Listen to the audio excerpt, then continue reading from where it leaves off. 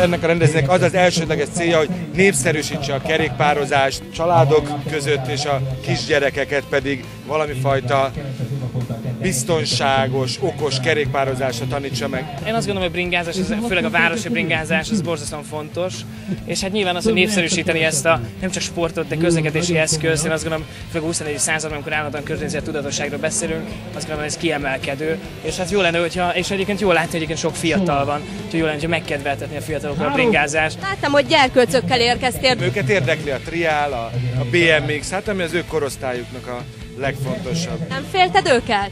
Nem, egyáltalán nem. Hát ő forgalomban nem mehetnek. A kicsi az meg mögöttem ül, hát pláne biztonságban van. Mit mondanál azoknak a szülőknek, akiknek a gyereke most a bemutatót kapcsán kedvet kap hozzá?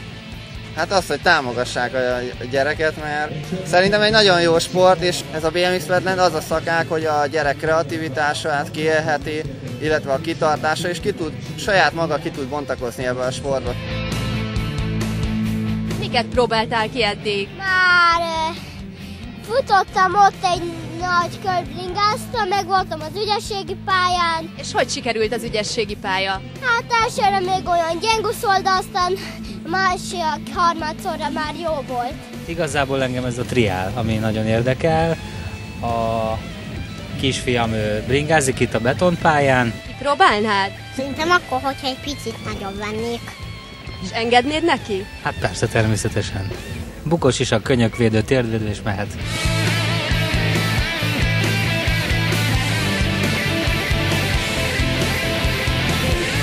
Ti milyen versenyen vettetek részt, hogy ilyen szép érmeket nyertetek? Én a, ezen a gyakorlaton.